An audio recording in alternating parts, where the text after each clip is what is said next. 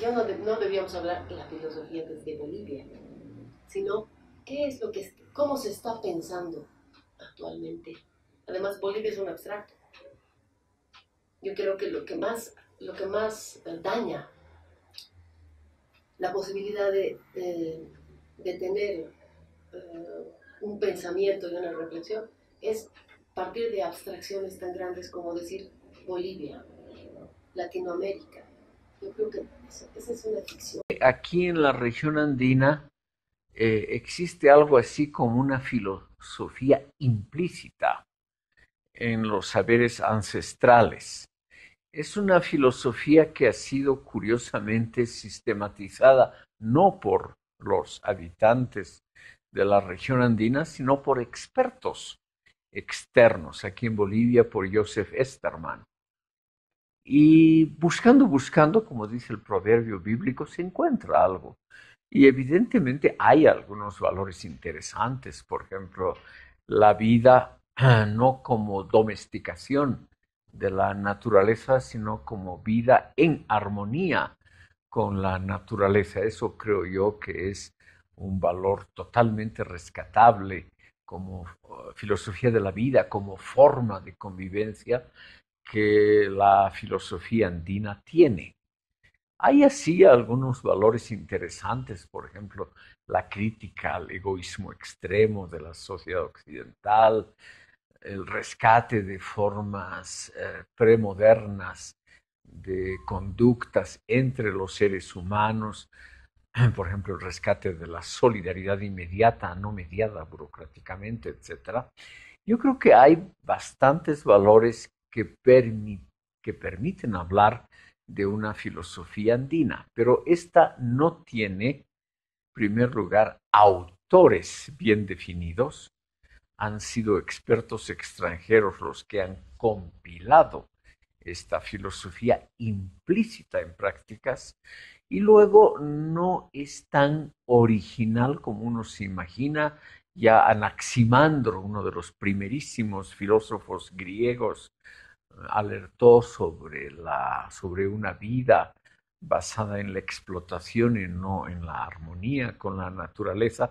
Y esa idea de que hay que vivir en armonía con los ecosistemas naturales es algo que varias culturas han practicado, no es algo tan original. Y luego todas las culturas premodernas, sin excepción alguna, han realzado el valor, por ejemplo, de la solidaridad y fraternidad inmediatas. Pero es bueno que, aquí también se haya pensado en esos temas. En el pensamiento filosófico boliviano, latinoamericano, lo que se ha criticado bastante es que hemos sido, hemos sido siempre, em, eh, hemos decepcionado normalmente las modas filosóficas, científicas de otros países y no nos hemos puesto a la tarea de construir nuestro propio pensamiento. Construir un propio pensamiento no es rechazar eh, la filosofía de Occidente, como algunas posturas ideológicas eh, consideran que es así, es decir, posturas románticas ¿no? De, la, de, la, de la cultura, que consideran que como Occidente ha traído todos los males, ¿no? entonces hay que negar todo eso. Entonces, considero yo que el pensamiento de Occidente eh, tiene muchas cosas interesantes y buenas que hay que saberlos rescatar, que hay que saberlos asimilar, no porque, no porque un filósofo haya criticado algo incorrecto, no haya dicho algo interesante. Si los, filósofos han dicho cosas muy interesantes y esas cosas interesantes habría que rescatarlas, ¿no? Pero también se han equivocado en algunas cosas y entonces esas cosas hay que dejarlas. Por lo tanto, eh, estudiar el pensamiento de Occidente es tan importante porque hay núcleos racionales que se pueden recuperar y estos núcleos racionales pueden ser asimilados o tomados en cuenta a partir de las propias circunstancias en las que vivimos para constituir un pensamiento propio. Ese pensamiento propio con cierta provisión de tipo, digamos, universal. Es decir, el pensamiento filosófico ah, tiene que ser en ese sentido eh, ecléctico en la medida en que recupera, digamos, elementos de otras filosofías y las engarza con otros elementos propios del, acontecer cultural propio de, un pueblo, etcétera, para elaborar, digamos, un pensamiento. Lo que hasta ahora no se ha dado en realidad, ¿no es cierto? Aunque algunos consideran que sí, pero creo que en gran medida todavía seguimos repitiendo las filosofías de, eh, de moda, ¿no? Bueno, los historiadores de la filosofía, por ejemplo, Mario Bunge, ¿no? que eh, después de leer, por ejemplo, el libro de Frankovich, La filosofía en Bolivia, ha manifestado hace ya bastante tiempo que no existe filosofía en Bolivia después de leer el libro de Frankovich, se ha cerciorado que lo que hay, por ejemplo, Omerto Yola Cuellar, o si no, La mística de la tierra, que son capítulos de Frankovich, eh, le mostrarían a él, un positivista argentino, que no hay filosofía boliviana o un aporte del pensamiento boliviano filosófico a la filosofía universal. Si el origen de la filosofía se remite a los griegos, ¿en qué sentido se podría hablar de otros tipos de, em, de filosofía? Si habría otra filosofía fuera de la tradición occidental, por ejemplo. En ese sentido, claro, el tema sin duda es polémico, porque si remitimos a, la filosofía exclusivamente al ámbito del origen de los griegos, claro, adquiere una especificidad que podríamos decir filosofía solo en Occidente. Eso es leído desde otras perspectivas como arbitrariedad, como solo los de Occidente se creen filósofos, los otros no. Eh, se preguntaron hace, tiempo, hace un tiempo atrás si puede haber una filosofía propia americana, ¿no? Y unos respondían y decían, no, no puede haber porque somos colonia. Y al ser colonia, repetimos los pensamientos que nos imponen eh, los europeos o Norteamérica. Es decir, nos han impuesto una, un sistema económico, una estructura económica determinada, con toda su superestructura, ¿verdad? con su ideología, eh, digamos, religiosa, con una, educación determinada, unas instituciones determinadas, una concepción del arte determinado, etc. Y esta eh, ideología, este conjunto, esta superestructura, es nada más que una función de la estructura. Y como tenemos unas relaciones capitalistas de producción, por lo tanto, toda nuestra superestructura es nomás burguesa, ¿verdad? A pesar de que hay disidencias hay concepciones, digamos, filosóficas eh, disidentes, lo cual está muy bien, por supuesto.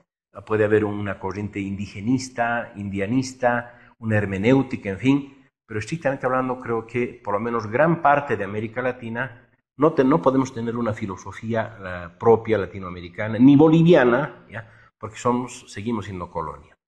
Una filosofía en Bolivia es la que se hace en Bolivia o la que viene de allá, se aclimata aquí, se adecua aquí. Una filosofía desde Bolivia va a ser una especie de combinación del pensamiento universal con alguna, alguna problemática, alguna teoría, hipótesis, una especie de concepción que sale desde aquí. Y la filosofía en Bolivia es precisamente esos dos, ¿no? Entonces, la manera de ver propia de nosotros va a contribuir a otras eh, concepciones que están circulando por el mundo. Aunque tampoco hay que hacerse muchas ilusiones, ¿no? Porque la filosofía, como cualquier actividad, es una cuestión de poder. Y lo que se haga aquí no va a tener toda la cabida que podría tener lo que se lo que se fabrica en términos de ideas en Norteamérica, en Francia, en Alemania y así sucesivamente. Entonces, es una cuestión de poder, pero aquí sí se puede hacer filosofía. Yo tengo una, opinión. Cuando empezamos a adjetivar la filosofía, entonces deja de ser propia. Es decir, cuando tú dices filosofía desde Bolivia, quiere decir que ya no hay filosofía. Cuando tú dices filosofía andina o filosofía latinoamericana, entonces deja de ser filosofía. Porque yo concibo a la filosofía como una práctica del pensamiento. Pero no solamente del pensamiento, sino de la acción respecto a, una determinado, de un, a un determinado presente. El filósofo no es el que repite las ideas de aquí para allá, trae a colación, no. El filósofo para mí debía ser aquel que es capaz de leer su realidad actual.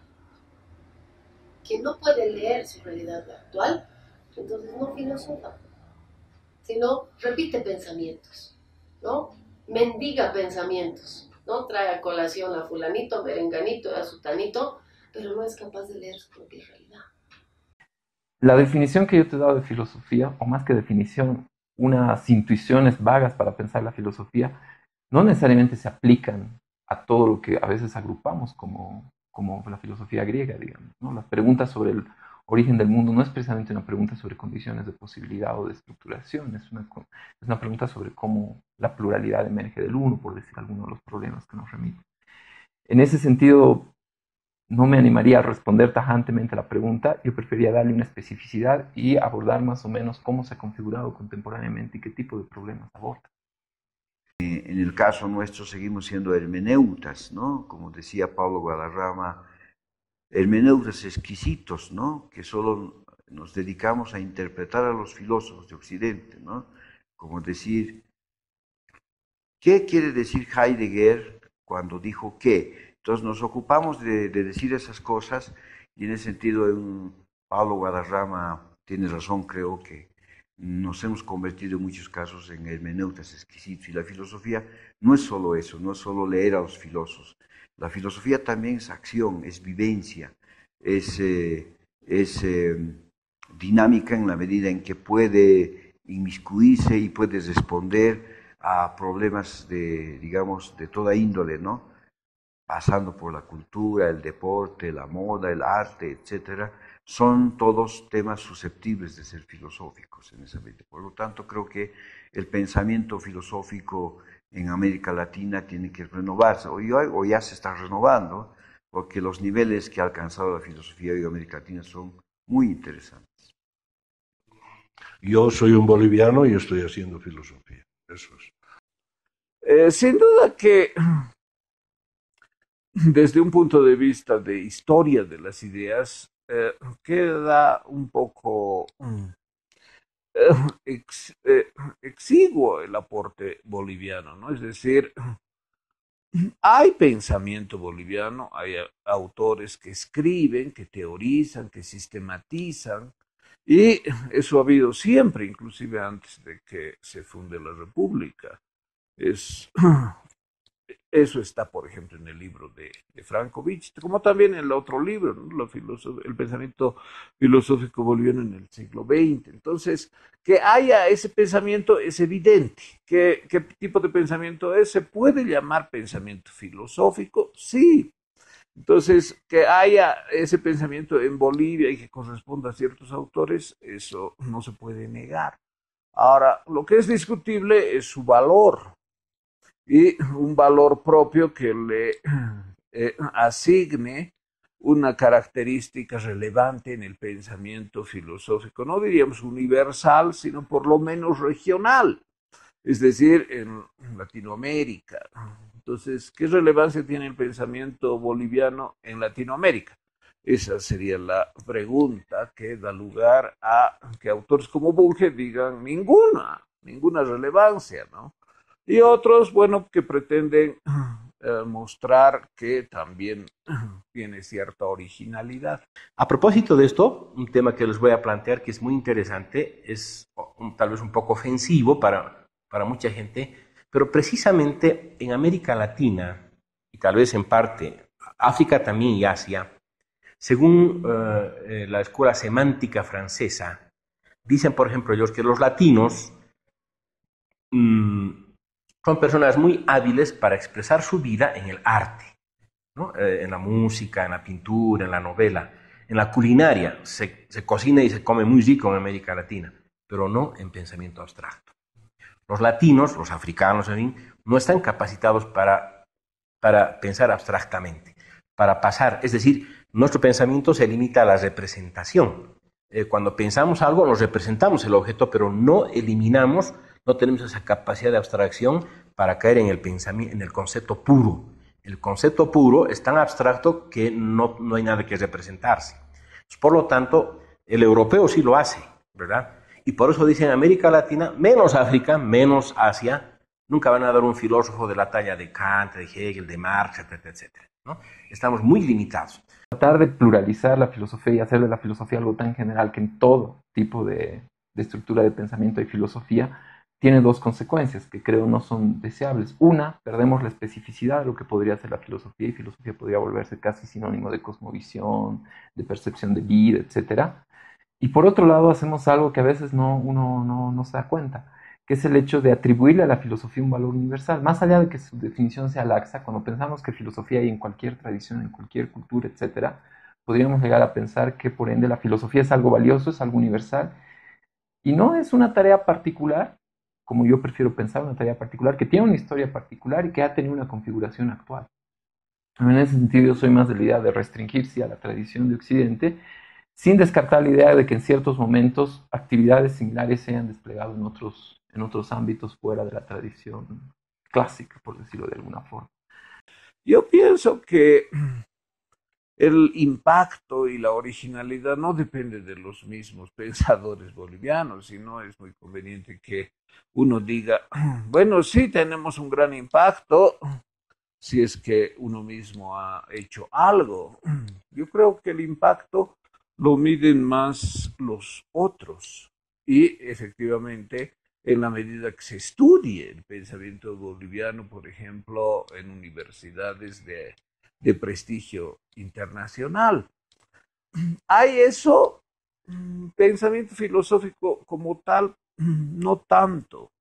Más se estudia la literatura o eh, textos de sociología, de ciencias políticas, pero ahí también hay de alguna manera pensamiento filosófico. Entonces, eh, que se estudie el pensamiento filosófico en otras universidades, no directamente como tal, pero sí implícito en otras eh, elaboraciones intelectuales que muestran efectivamente eh, algún razonamiento y alguna teorización filosófica en Bolivia. Y en ese sentido, bueno, sigue siendo un desafío para la carrera hacer lo que algunos llaman filosofía dura, ¿no? Es decir, por ejemplo, lógica o sino ética, que no sea tan referido a ciertos campos de aplicación. Entonces, eh, ese sigue siendo un desafío para la carrera de elaboración de pensamiento propio, que en alguna medida respondemos eh, en cuanto hay tesis de los estudiantes que defienden sus propias elaboraciones, pero también hay eh, eh, artículos, la revista, por ejemplo, la revista Collasuyo, es una lástima que no se haya publicado en tanto tiempo, ¿no? Debería haber una publicación regular de la, digamos, dos números al año.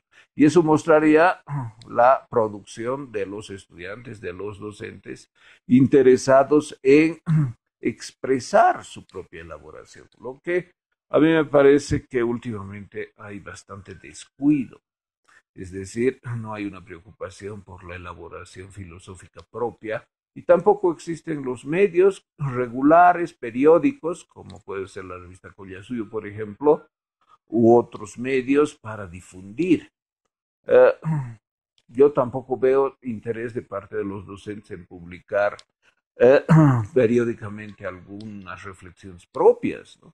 Salvo algunos pocos libros eh, de algunos colegas, en general es muy pobre la producción filosófica de los docentes que eh, eh, tendrían, en mi opinión, especialmente en disciplinas como la filosofía, tendrían que producir y publicar.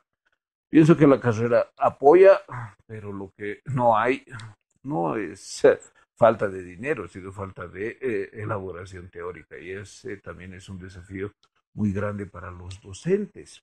Yo pienso que debería haber alguna manera de motivarles a que eh, elaboren y publiquen. En algunos casos, los que ya tienen cierto recorrido y cierta categoría, bueno, tampoco tienen interés, lo que es una lástima desde el punto de vista de eh, la filosofía producida por nosotros y para nuestro país. Tú tratas de hablar de la filosofía boliviana, no vas a tener filosofía boliviana. tú tratas de hablar de la filosofía. ¿Por qué? Porque esos son ficcionales, no hay esas generalidades. Hay reflexiones y pensamientos de pensadores eh, X o Z que se pretenden filosofía bajo el producto de ser absolutamente generales, cosa que yo no comparto, ¿no? Que se dicen filósofos. Yo creo que el verdadero pensador que se podría igualar a un filósofo de Occidente, porque la palabra filosofía es una creación pues occidental, occidental y de un acervo propio. ¿Y cuál es ese acervo propio? El rescatado por la Europa central de la tradición fundamentalmente grecorromana. ¿no? Esa es a la que se le ha venido a llamar filosofía, ¿no? y que la trae la colación eh, cuando se quiere eh, fundamentar toda una cosmovisión que está impregnada de, de más de principios mitológicos. O sea, la filosofía que nosotros estudiamos aquí es la filosofía de la Europa centrista, que ha rescatado ¿no? con, con, el principio, digamos, eh, eh, europea centrista, ¿no? ciertos pensamientos, pero que ha relegado otros de los que ellos devienen. Filosofía en Bolivia es, es haber logrado algún aporte en filosofía en el en el marco uh, geográfico que es Bolivia, ¿no? Filosofía en Bolivia. Entonces, si yo hago filosofía, consigo algo, es filosofía. Bueno, depende desde la postura en que uno se ubica, ¿no? En primer lugar, mmm, la filosofía que conocemos, que es la, que nos ha llegado de Occidente, ¿no?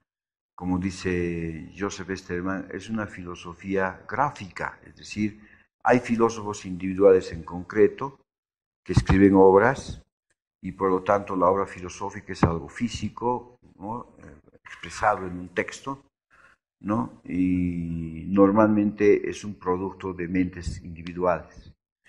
En cambio, pero además, ¿no es cierto?, esa filosofía es de corte en muchos casos racional, lógica, aunque en otros casos tiene algunas variaciones, ¿no? como uh, filosofías intuitivas, vitalistas, etc.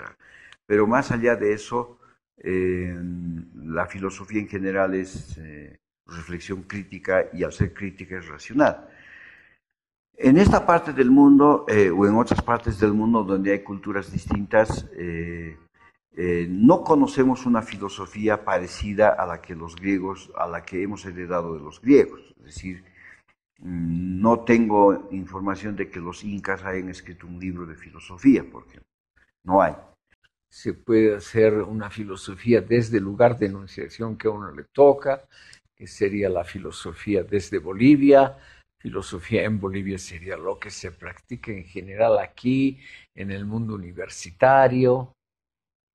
Y también podríamos decir filosofía filosofía en Bolivia también podría ser considerada como lo que se hace aquí, pero con una visión universal.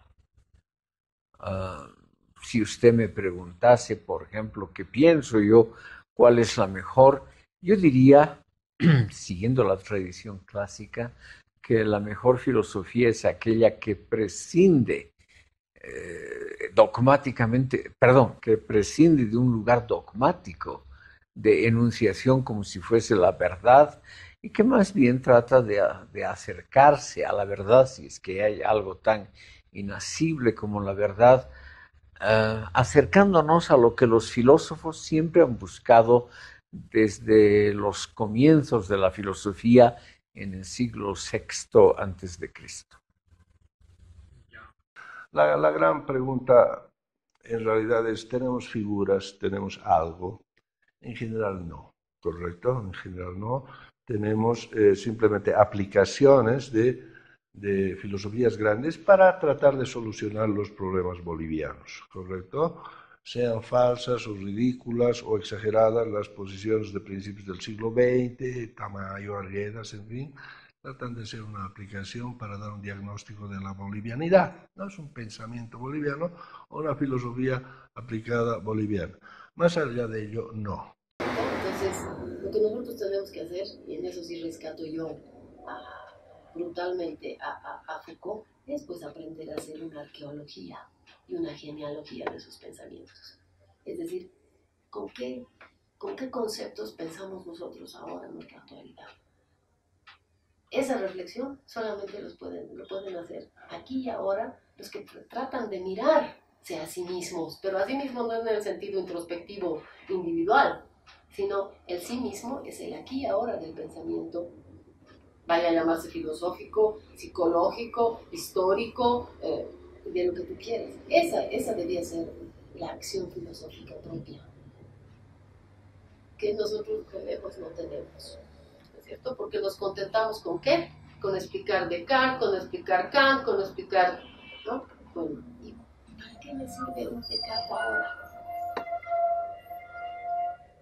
Ve, este pensamiento, ¿cuál, ¿cuáles son los orígenes de este pensamiento?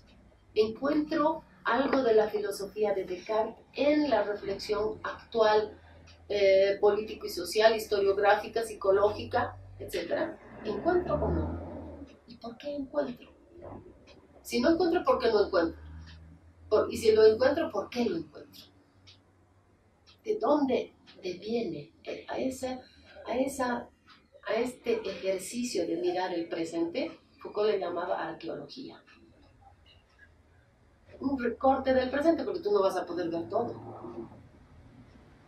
Ese recorte del presente, en sus estratos y en sus devenires, esa es la genealogía.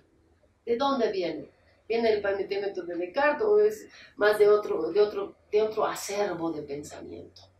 Al final, también por cuestión elemental, yo voy a resolver esto diciendo, bueno, si yo he desarrollado una lógica del problema y está demostrada, está publicada. Bueno, eso es, una, eso es lo que yo considero un aporte, ¿correcto?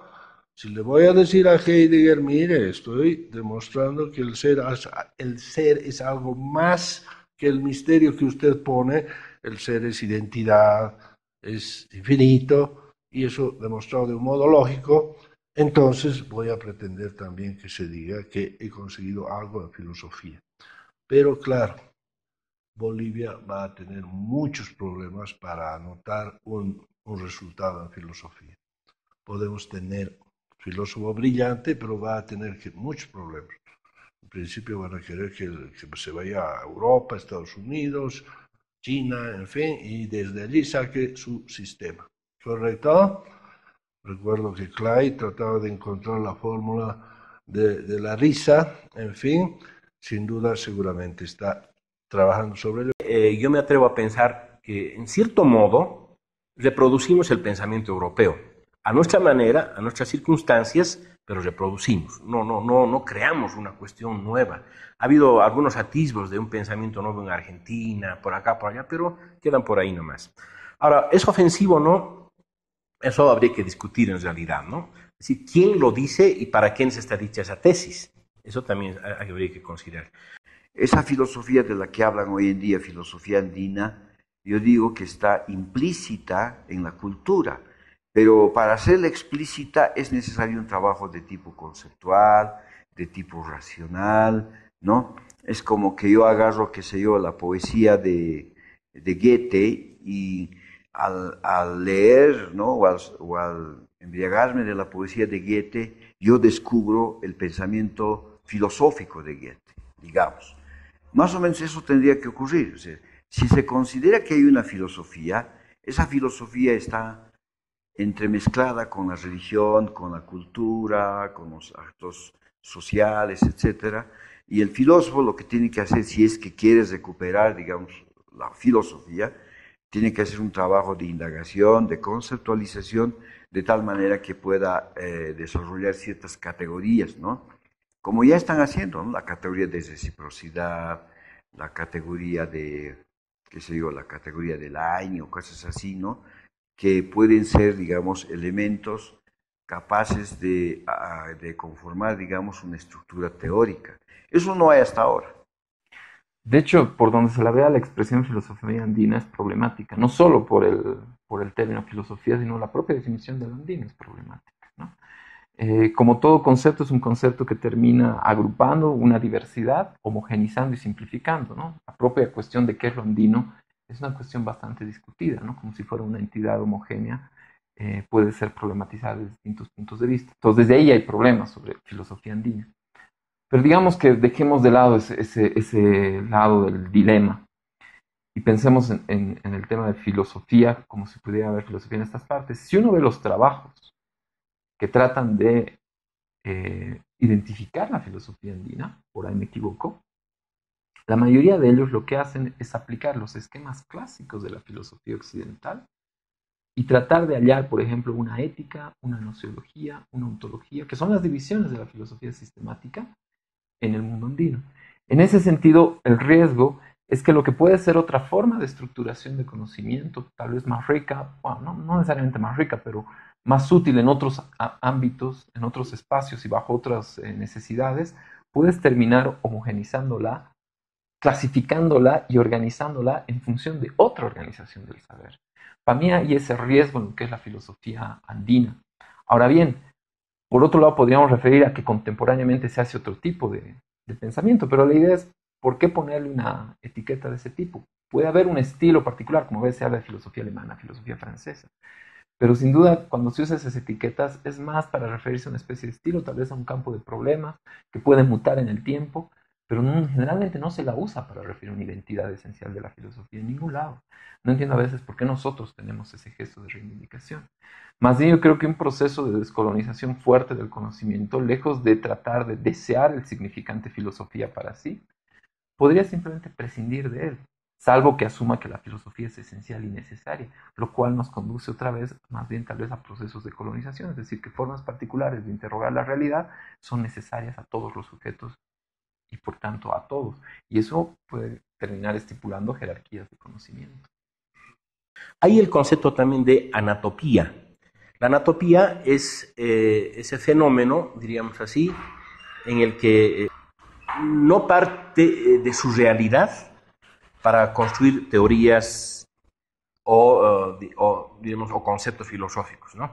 Y creo que eso será, este tipo de anatopía será justamente en América Latina. Porque ¿cuál es nuestra realidad?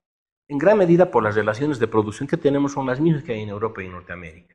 Por lo tanto, tenemos que reproducir los mismos conceptos, las mismas hipótesis, las mismas teorías, etcétera, etcétera. Hay otra concepción de la filosofía que dice la filosofía no tiene nada que ver con problemas particulares, o sea, latinoamericanos, africanos, la filosofía es universal, tiene que ver con, tiene que ver con problemas universales, la existencia de Dios, cuál es, cuál es el origen del hombre, cuál es su fin, que no tiene que ver con casos concretos. Es otro tema también que habría que discutirlo, pero lo plantean así. Si se habla de filosofía en general, efectivamente hay filosofía en todo. O sea, cada persona en individual tiene su propia filosofía, cada club deportivo tiene su filosofía, cada institución tiene su filosofía, por eso se habla de la filosofía de la institución, la filosofía de la universidad, la filosofía de la empresa, etcétera, ¿no es cierto? Pero cuando ya hablamos estrictamente de la filosofía tal como entendemos nosotros los que hacemos filosofía, entonces tenemos que discernir. Es decir, puede que haya filosofía en el mundo andino, pero esa filosofía no está explicitada, no, es, eh, no, no, no, ha, no se ha, digamos, efectivizado en un texto físico, digamos, ¿no? Entonces, se dice que esa filosofía es oral, es colectiva, ¿no? Es decir, no hay un filósofo individual, en general la, colectividad, la comunidad es de alguna manera eh, el protagonista filosófico, digamos, ¿no?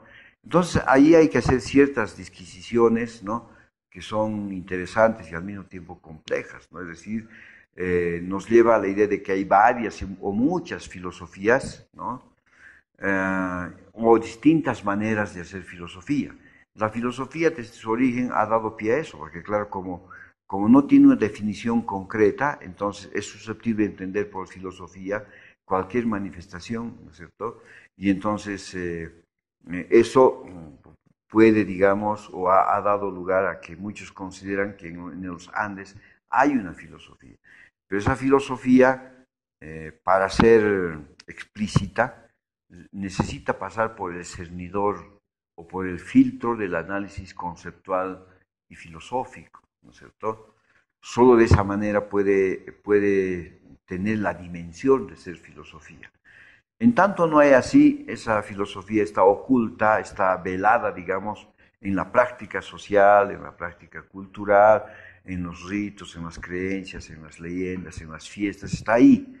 Pero si hablamos estrictamente de filosofía, y además si queremos nosotros discutir con los supuestos filósofos andinos, tendríamos que tener algo físico concreto y hacer una discusión, digamos, de tipo racional y lógico, porque la naturaleza de la filosofía es eso, es discusión, es interrogación, es cuestionamiento, es análisis, es crítica, ¿no?